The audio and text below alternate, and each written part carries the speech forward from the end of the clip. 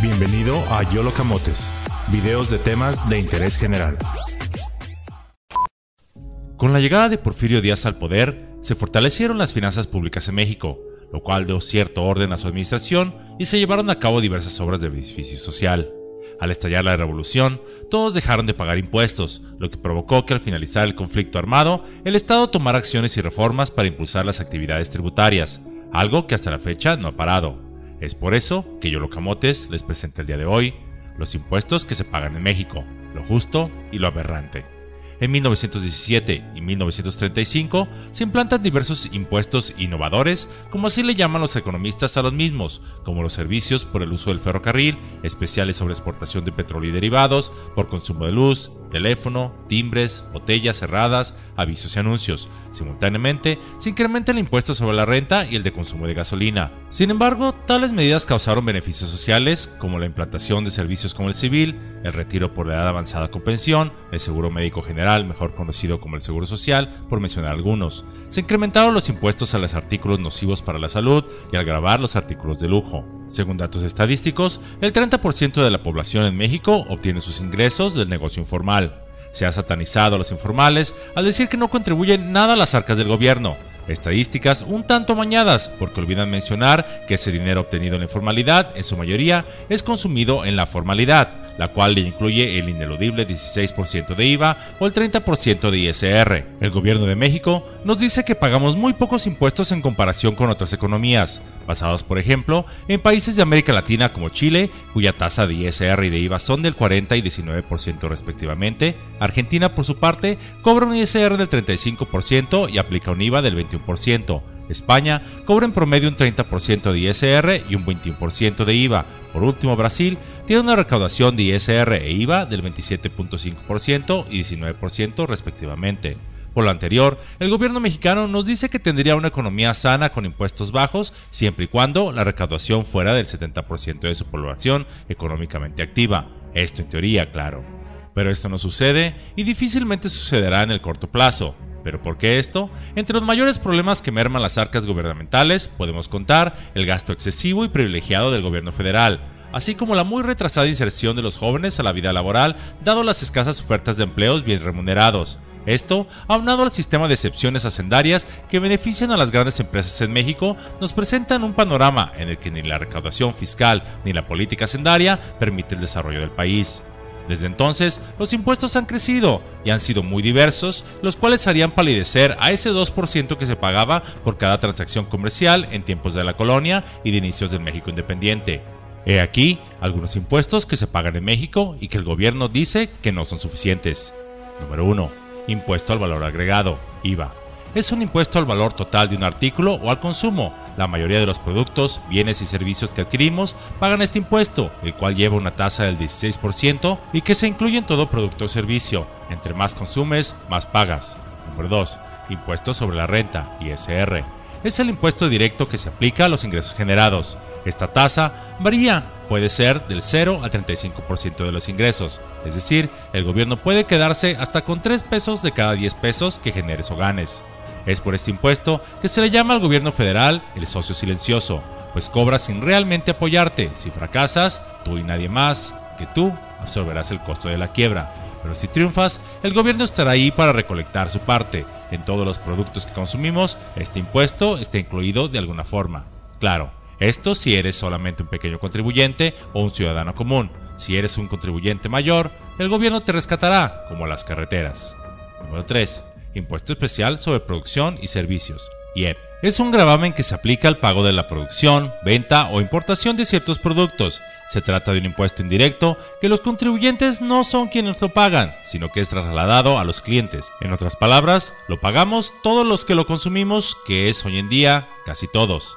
El IEPS también tiene como objeto grabar los servicios por comisión, mediación, agencia, representación, correduría, consignación y distribución con motivo de la enajenación de ciertos productos. Aquí se incluyen todas las telecomunicaciones, por ejemplo, viene incluido en tu cuenta de televisión, cable, telefonía, ya sea terrestre celular e internet. También, por ejemplo, este impuesto se incluye en los combustibles, ya sea gasolina, gas, carbón, etc. Por ejemplo, en la gasolina que le pones a tu automóvil viene el ISR, el IVA y el IEPS, el cual lo pagas tú. Este mismo impuesto se anexa al costo de bebidas alcohólicas, ya sea de vino o cerveza, a cigarros, a bebidas saborizadas, es decir, refrescos, incluso plaguicidas. También el gobierno incluye en este impuesto aquellos alimentos que contengan más de 275 kilocalorías por 100 gramos, como las botanas, los chocolates, helados, cereales y hasta las paletas de hielo. Y si llegases, por ejemplo, a ganarte la lotería o algún sorteo, el gobierno recaudará un 30%, porque claro, ellos te ayudaron a pagar ese cachito de lotería y escoger el número, y por eso se merecen ese 30% como tu socio silencioso, que es a fin de cuentas los millones de carreteras, los cientos de miles de hospitales, las calles limpias y bien bacheadas y servidores públicos y sonrientes y amables dispuestos a ayudarte. Los vale. Número 4. Impuestos sobre automóviles nuevos, ISAN como su nombre lo dice, este impuesto se aplica a la compra de un auto nuevo. La tasa varía dependiendo del valor del automóvil y va desde el 2% hasta el 17%. Y por supuesto, no olvide que dentro de ese valor ya le incluyen el IVA y el SR de alguna forma. Número 5. Impuestos generales de exportación e importación. Es el impuesto que se paga por la importación y exportación de toda clase de mercancías, como por ejemplo maquinaria, animales, mascotas y de granja, aparatos y dispositivos, muebles, juguetes, joyería, motores, materiales de construcción, por mencionar algunos. Esta tasa es variable y por lo general está relacionada con el IVA, a menos que exista algún caso especial de comercio. Esta se establece como rubro por rubro a través del SAT. Por eso, si deseas comprar ese celular tan barato en eBay por tan solo 2 mil pesos, cuando en México cuestan 5 mil, lo más probable es que termines pagando casi lo mismo, pues ya agregados impuestos, el valor te saldrá muy cercano a lo que cuesta en territorio nacional. Número 6. Impuestos sobre nóminas. Este es un impuesto estatal, pero que se aplica a nivel nacional. Estatalmente, el patrón paga este gravamen al empleo por concepto de sueldos, salarios, tiempo extraordinario de trabajo, premios, bonos, estímulos, incentivos, compensaciones, gratificaciones, aguinaldos, participación patronal al fondo de ahorros, primas de antigüedad, comisiones y pagos realizados a administradores. Algunas legislaciones estatales también contemplan viáticos, gastos de representación, comisiones, vales de despensa, pagos por servicio de transporte, primas vacacionales, dominicales o por antigüedad. El promedio de este impuesto es el 2% para los rubros antes mencionados. Este impuesto nació en 1963. Tuvo inicialmente como objetivo ayudar a las finanzas estatales para ser empleados para la promoción del turismo, fomentar la educación o la conservación de bosques naturales. Por desgracia, llegó y jamás se fue pues los estados lo consideran una fuente importante de ingresos y que en la práctica no se aplica para lo que fue creado. Aunque es deducible para el patrón, al final de la cadena de consumo tendrá que pagarlo obviamente el consumidor, pues una empresa vive de sus clientes, quienes son los que al final pagan todo. Número 7. El impuesto catastral o predial. Se determina tomando como base el valor catastral del inmueble, calculando el valor del suelo y la construcción por la superficie del edificio el porcentaje varía dependiendo del municipio, es decir, aún después de pagar tu casa por 30 años, por siempre y para siempre pagarás una renta, por así llamarlo, a los municipios. Si no la pagas, tu propiedad se rematará para pagar los impuestos que se deben. Este impuesto supuestamente cubre servicios públicos como es la recolección de basura y el alumbrado público, pero los gobiernos locales han estado buscando la manera de cobrar estos servicios, ya sea por exceso de basura o por supuestas mejoras, y aunque es inconstitucional la doble tributación, esto se ha llegado a hacer en varias localidades de México. Esto nos lleva al número 8, impuesto sobre el alumbrado público. Hablando de la doble tributación, este impuesto es cobrado por algunos estados y municipios en México, aproximadamente 20 estados, y supuestamente es para la instalación y mantenimiento de alumbrado público. Se cobra a través de los recibos de energía eléctrica de la Comisión Federal de Electricidad, y aunque se haya declarado inconstitucional por la Suprema Corte de Justicia de la Nación por ser un cobro doble, puesto que este ya se incluye en el impuesto predial, aún así estos estados, haciendo uso de la ley de sus pistolas, lo siguen cobrando. Número 9. El refrendo vehicular es el impuesto que se aplica por el replaqueo o por las placas que se emplean en todos los vehículos automotores, es decir, se paga por el derecho de usar durante un año las placas de nuestros vehículos. En algunos estados, a este refrendo se le ha agregado una aportación supuestamente voluntaria, pero en realidad forzosa, de cantidades que van de 80 pesos para la Cruz Roja y para los hospicios de niños sin hogar, dependiendo del estado en que lo pagues. Y aunque en esencia es altruista y muy loable, es una medida claramente inconstitucional, pero que a los gobiernos no les interesa. En el caso de la Cruz Roja, que se sostiene de aportaciones voluntarias, no puede la ciudadanía obligársele a esta aportación por parte de nadie, sea por más loable que sea, y más aún cuando los servicios de la Cruz Roja no son totalmente gratuitos como muchos piensan, pues quienes se han visto la necesidad de emplearlos podrán dar fe de que antes de darte de alta tienes que pagar una cantidad que resulta en ocasiones bastante onerosa y ni qué decir de algunos escándalos financieros como compra de insumos y ambulancias sobre precio. Además, si toda la ciudadanía tenga auto o no la emplea, no puede cobrársele solo un sector de la población solo por tener automóvil. En el caso de los hospicios para niños sin hogar, aunque ciertamente muy loable, tampoco puede hacerse una doble tributación cuando estos son sostenidos ya por el Estado que dispone de una partida presupuestaria para sostener los mismos. Y ni qué decir de los gobernadores que se paran el cuello y posan para la fotografía cuando entregan los cheques de las aportaciones voluntarias de dinero que a ellos no les ha costado a las instituciones que la reciben y ellos lo pregonan como un logro de sus administraciones. Este es uno de los impuestos en los que se sufre con más abusos en México y se considera la caja chica de los estados. Número 10. Impuestos sobre la tenencia.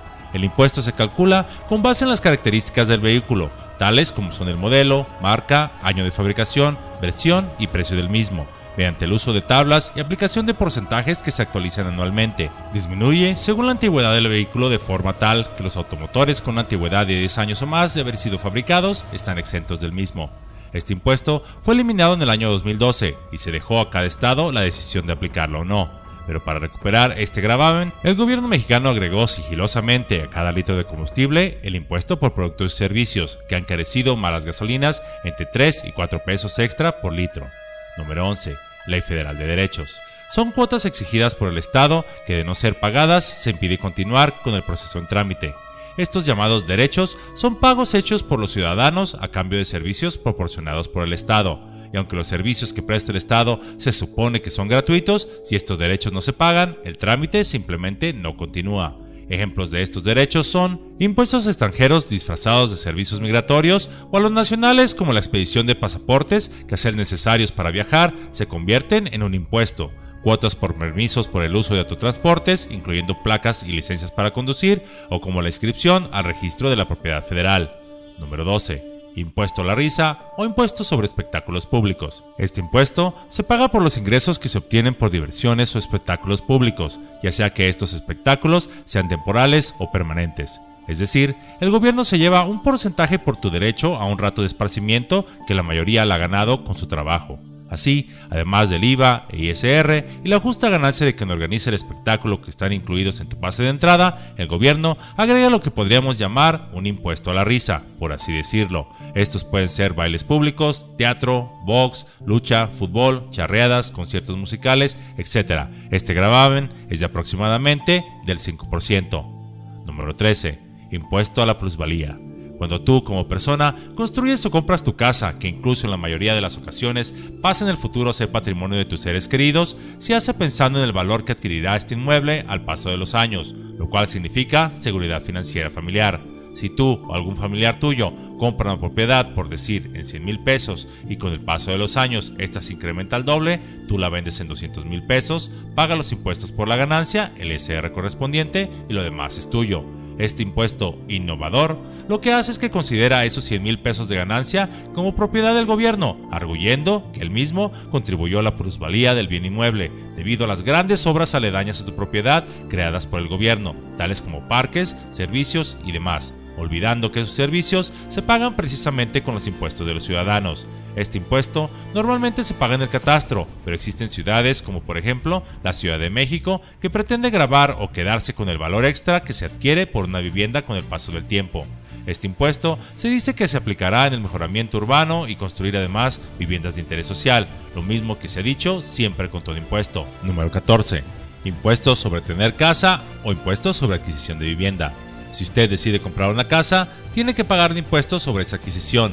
Este puede ser entre el 0.1 hasta el 4.6%, dependiendo del valor del inmueble. Número 15. Impuestos sobre la venta de inmuebles. Aquí se aplica el impuesto sobre la renta, porque supone que cuando vendes tu casa, obtienes una ganancia de cuando la compraste a cuando la vendiste.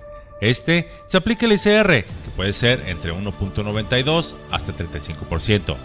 Podemos decir que un mexicano contribuyente formal paga de su ingreso 30% por concepto del impuesto sobre la renta. Además del resto de nuestro ingreso, pagamos IVA, IEPS, derechos, tenencia y demás actividades que generan impuesto. Aproximadamente el 60% de los ingresos de un hogar se van solamente en el pago de impuestos y tan solo el 40% representa el valor real de los mismos o servicios que se consumen. Muchos parecen, por ejemplo, olvidar que en el sexenio del expresidente Felipe Calderón el IVA se incrementó de un 15 a un 16%. Supuestamente, ese 1% se destinaría para combatir el hambre. No sé ustedes, pero yo aún veo a un México con mucha hambre y sed de justicia. El gobierno aduce que estos impuestos son necesarios para la construcción de escuelas, carreteras, mantener al ejército y los programas sociales indispensables para todos los mexicanos y mexicanas. Letanía que se ha repetido desde los gobiernos inmediatos a la caída del presidente Díaz. Miles de escuelas, millones de kilómetros de carreteras, cientos y cientos de hospitales de primer mundo. Eso claro es lo que arguyen todos los gobiernos. Pero la pregunta es, si a pesar de todos los rubros tributarios, los que son justos y los que son totalmente ridículos, que pagamos los mexicanos, el gobierno no consigue recaudar lo suficiente y señala que no se pagan los gravámenes que deberíamos, entonces, ¿a dónde han ido a parar todas las contribuciones que pagamos los mexicanos? ¿Por qué a los poderosos se les exenta de impuestos y a los débiles se les tributa más? Y sobre todo, ¿tenemos los servicios que deberíamos recibir por la carga fiscal que pagamos? Muchas gracias por tomarse su valioso tiempo para ver este sencillo video. Si fue de su agrado, les invito a que le den su pulgar arriba y lo compartan con sus amigos. Suscríbanse si aún no lo han hecho y activen la campanita para recibir notificaciones de nuevos videos como este.